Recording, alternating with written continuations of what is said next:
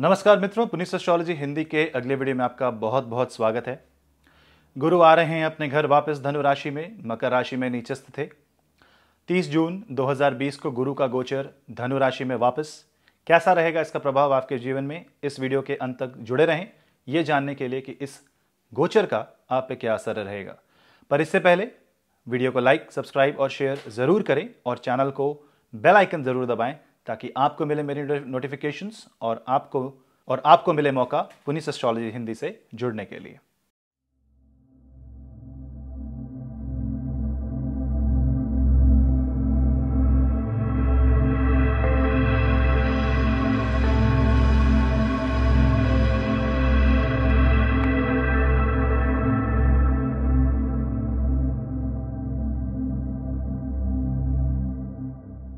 बृहस्पति देवगुरु अपनी गोचर मकर राशि में छोड़ करके धनु राशि की ओर प्रवेश कर रहे हैं और धनु राशि में वो वक्र गति से 30 जून 2020 को प्रवेश करेंगे। गुरु का गोचर सितंबर के महीने तक, मिड सितंबर तक धनु राशि में वक्री और फिर मार्गी हो जाएँगे। यहाँ पे कुछ बातें आपको ध्यान देने की ज़रूरत है। पहले, पिछले साल गुरु का जब गोचर धनु राशि में हुआ तो वो वृश्चिक राशि से हुआ था। वृश्चिक राशि में गुरु का प्रवेश वृश्चिक राशि राशि से धनु राशि में गुरु का प्रवेश केतु को फेस करते हुआ, वो केतु की ओर बढ़ रहे थे, यानी गुरु और केतु आपस में कोलिजन करने वाले थे वो आपस में भिड़ जाते, एक दूसरे को क्रॉस करते। पर यहाँ पे गुरु की जो गोचर गति है, वो केतु के पीछे है। यानी यहाँ पे केतु आगे आगे और गुरु पीछे पीछे। दोनों का मुख वृश्चिक राशि की ओर। वहीं शनि मकर राशि में वक्री अपनी गति से चल रहे हैं। तो इसका प्रभाव आपके जीवन पे क्या पड़ेगा? आपको यह जानना होगा कि गुरु ने नीचस्थ अवस्था में कैसा परिणाम दिया। ये आप सभी जानते हैं कि पिछले कुछ महीनों में आपके जीवन में क्या बीता। बृहस्पति जब नीचस्थ होते हैं और खासकर अगर नीच भंग का योग बनता है शनि के साथ तो ये बृहस्पति खुद कुछ नया सीखने के लिए जाते हैं। जैसे कि कोई टीचर कुछ अच्छा और सिखाने के लिए अपने आप की, अपने आप को और कुछ जानने के लिए जाता है तो ये शनि के पास जाते हैं अपने ज्ञान को शनि के साथ शेयर करने।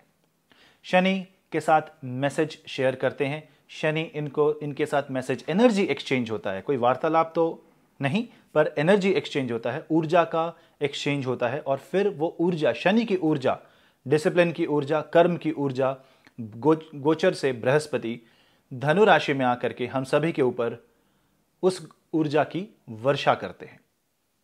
अब इस ऊर्जा की वर्षा से हमें क्या मिलेगा?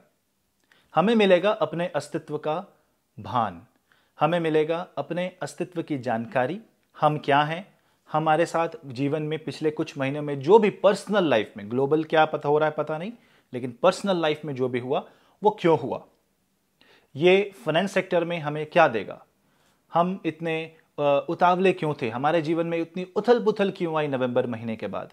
ये सत्य जो आपको नहीं पता चल रहा था, अब पता चलने लगेगा। किन माध्यमों से पता चलेगा? गुरु गुरु हैं तो आपके गुरु से पता चलेगा, पिता से पता चलेगा, ईश्वरीय शक्ति से पता चलेगा, ज्योतिषी से पता चलेगा, या किसी खुद आपके जो गुरु हैं, जो गाइड हैं, जो मित्र हैं, जो आपको सलाह देते हैं, उनसे आपको पता चलेगा। तो यहाँ पे आपको इस गोचर गति, जो वक्र गति है गुरु की, इसको बहुत गौर से देखना है, क्योंकि जो गोचर में वक्री ग्रह होता है, वो पृथ्वी के काफ़ी करीब होता है, वो फोकस्ड होता है, वो काफ़ी काफ़ी ज़्यादा अपनी एनर्जी को कंसंट्रेट करके, एकाग्र करके कार्य करने की कोशिश करता है। उसकी कार्य क्षमता बहुत ज़्यादा प्रबल होती है। तो यहाँ पे अगर गुरु अपनी ही राशि धनु राशि में वापस आते हैं तो ज़रूर कुछ सृजनात्मक शक्तियों के साथ धनु राशि का मार्ग प्रदर्शित करेंगे, परिवर्तित करेंगे। उसी तरह से आपके जीवन का भी मार्ग प्रदर्शित होगा, पथ प्रदर्शन करेंगे, परिवर्तन करेंगे आपके जीवन में, सकारात्मक ऊर्जा आपके भीतर भरेंगे। धन संपदा और समृद्धि के लिए ये योग काफ़ी काफ़ी अच्छा है। हाँ जब तक गुरु वक्री रहेंगे धनु राशि में, आपका कर्तव्य है कि आप अपनी गलतियों के बारे में ज़रा गौर से विचार करें। पिछले कुछ महीनों में आपके मस्तिष्क में क्या चला? आपके मन के भीतर कौन सा तूफ़ान आया? आपके अंदर कौन सा द्वंद उत्पन्न हुआ? इन बातों को कहीं किसी किताब में, किसी कॉपी में नोट डाउन करें, लिखित रूप में इसको लिस्ट करें और फिर एक एक इवेंट के पीछे एनालिसिस करें।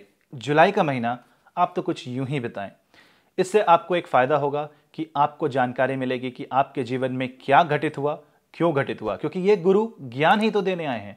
आपको ज्ञान मिलेगा तो आगे का रास्ता बड़ा सफल हो जाएगा, बड़ा सरल हो जाएगा, क्योंकि जब ज्ञान मिलता है तो प्रभु की दृष्टि का समान होता है वो ज्ञान, और ये ज्ञान आपको, आपके मस्तिष्क को उजागर करेगा और मस्तिष्क में एक आत्मबोध उत्पन्न करेगा और आपको अपनी गलतियाँ और अपनी अच्छाइयों का एहसास हो जाएगा। ये आपको, ये ज्ञान जो, ये जो समय है, ये आपको आपकी अच्छाइयाँ और बुराइयाँ ज़रूर बताएगा और इनका फ़ायदा या नुकसान, लाभ या हानि आपके हाथों में है। क्योंकि शनि अपने मकर राशि में, कर्म की राशि में खुद वक्र गति में है। यानी वो ये बता रहे हैं कि आपका कर्म भी काफ़ी केंद्रित होना चाहिए, काफ़ी एकाग्र होना चाहिए आपका ध्यान, और आपको अपने कर्मों का भान भी होना चाहिए। गलत है कर्म तो सुधर सकते हैं। अगर अच्छे कर्म हैं तो और अच्छे हो सकते हैं। किस तरह से हम अपने आप को पवित्र करें, इसके लिए भागवत गीता का पाठ कर सकते हैं। गुरु जो होते हैं, वो स्क्रिप्चर्स हैं। गुरु, यानी बृहस्पति, पौराणिक जो ग्रंथ हैं, उनको इंडिकेट करते हैं। तो हमें आंसर वहाँ से मिल सकता है। हमें वेद और पुराणों का अध्ययन करना चाहिए। और आपके लिए काफ़ी अच्छा मैं एक उपाय बताता हूँ। संस्कृत भाषा, इसको सीखना शुरू करें आप। अगर आपको गुरु का फ़ायदा चाहिए तो आप संस्कृत भाषा का उपयोग ज़्यादा करें। गुरु को संस्कृत बहुत प्रिय है, क्योंकि जितने भी हमारे जो स्क्रिप्चर्स हैं, वेद हैं, पुराण हैं, वो सारे संस्कृत भाषा में लिखे हैं। इसकी ग्रामर को समझना बहुत ज़रूरी है ताकि हमें सच पता चले। और अगर आज आप इसको शुरू करते हैं तो आप एक बहुत जल्द एक ऐसे पायदान पे पहुँच जाएँगे, जहाँ से आप अपने आप को एक अलग ही दिशा में पाएँगे, एक अलग ही जीवन आप देखेंगे, एक अलग फ्यूचर एक अलग भविष्य आपके सामने आके खड़ा हो जाएगा। इस समय बहुत ज़्यादा इन्वेस्टमेंट कहीं पैसे का लेन देन थोड़ा सोच समझ के करें, क्योंकि वक्री गुरु है। ये गुरु मोस्टली आपके जो धनु राशि है, उसके निर्माण के लिए आया है। तो यहाँ पे आपको देखना पड़ेगा कि आपकी कुंडली में धनु राशि कहाँ पे विराजमान है। कौन से भाव में धनु राशि है? चौथे भाव में है, छठे भाव में है, दसवें भाव में है या लग्न में है? जिस राशि में, जिस जिस भाव में धनु राशि होगी, उस भाव का कंस्ट्रक्शन स्टार्ट हो जाएगा निर्माण कार्य शुरू हो जाएगा और बदलाव आने वहीं से आपको सबसे ज़्यादा दिखाई देंगे।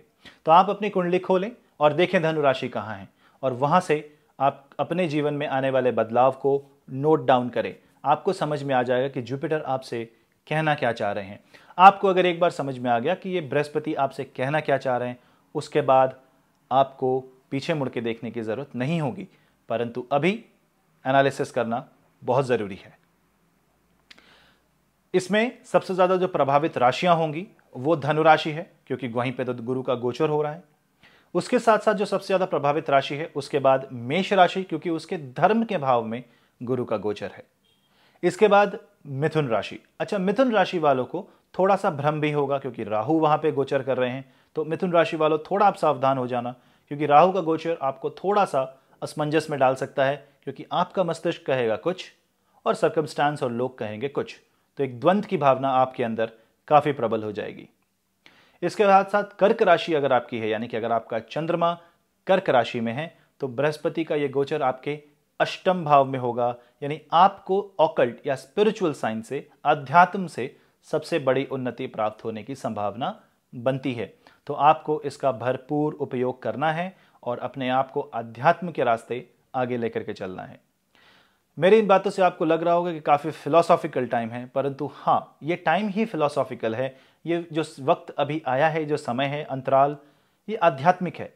आपको ये चार महीने आध्यात्म के रास्ते से जीना होगा। आप चाहे किसी भी धर्म के हो, आध्यात्म धर्म से परे है। अध्यात्म सब धर्मों का सम्मिलन है और अध्यात्म के रास्ते से आप आगे बढ़ेंगे तो आप परमेश्वर, परमात्मा की ओर, उनको उनके आगे नतमस्तक होकर के आप बहुत सारी पॉजिटिव और सकारात्मक शक्तियाँ पा सकते हैं। ये गुरु आपको ऊर्जा देंगे, ये गुरु आपको संपन्नता देंगे, ये गुरु आपको आपकी गलतियों के बारे में भी बताएँगे, यानी कि आपको अपने सबसे भय, सबसे बुरे भय का सामना भी करना पड़ेगा। कहते हैं ना you have to face your worst fear तो वो आपको करना पड़ेगा। आपको अपने हिम्मत को इकट्ठा करना है आपको अपने मस्तिष्क को एकाग्र करना है और आपको अपने अंदर एक सरेंडर की भावना उत्पन्न करनी है, एक ग्रैटिट्यूड एक थैंकफुलनेस धन्यवाद की एक भावना आपको उत्पन्न करनी है और ईश्वर जिस मार्ग पे आपको ले जाना चाहते हैं, उस मार्ग पे स्वतः ही चलने को रा, को एग्री करना, को स्वतः चलने के लिए आप एग्री कर जाओ, राज़ी हो जाओ, यही तो बृहस्पति चाहते हैं। अगर आप ईश्वर के पथ पर चलते हैं तो आप देखोगे कि मैक्सिमम जो सोल्यूशन है आपको मिल रहे हैं, उपाय आपको मिल रहे हैं, किसी न किसी ज़रिए से, किसी न किसी माध्यम से आपको आपके सवालों के जवाब मिलने शुरू हो जाएँगे। तो दोस्तों, अगर आप किसी भी तरीके से परेशान हैं तो डेफिनेटली आप कंसल्टेशन तो किसी भी ज्योतिष से आप ले सकते हैं। लेकिन अगर आप ज्योतिष से कंसल्टेशन लेने में असमर्थ हैं या आप पहुँच नहीं पा रहे हैं तो गुरु का ध्यान करें ईश्वर को गुरु माने और एक्सेप्ट करे चीज़ों को सिचुएशन को थोड़ा एक्सेप्ट करने की कोशिश करें और धीरे धीरे आगे बढ़ करके चेंज लाने की कोशिश करें। आप देखोगे कि आपको बहुत कुछ समझ में आने लगा और इस टाइम पे जो काम, क्रोध, लोभ, मोह, मद, भेद, अहंकार जैसी जो त्रुटियाँ हैं जीवन में, वो मिटाने का समय है तो आपका फोकस इसी तरफ़ होना चाहिए। क्या आप ये समय गंवा दोगे? या आप इस समय का भरपूर उपयोग करोगे? ये तो आपके हाथों में है। लेकिन मैं यही चाहूँगा कि आप इसका भरपूर उपयोग करें और अपने भीतर के तमस को मिटा करके रोशनी की ओर आगे बढ़ें। असतो माँ सदगमया, तमसो माँ ज्योतिर्गमया मृत्युर्मा अमृतम गमया ओम शांति शांति शांति। इसी के साथ मैं पुनीत आपसे अलविदा लेता हूँ। मिलूँगा अगले वीडियो में। तब तक के लिए नमस्ते।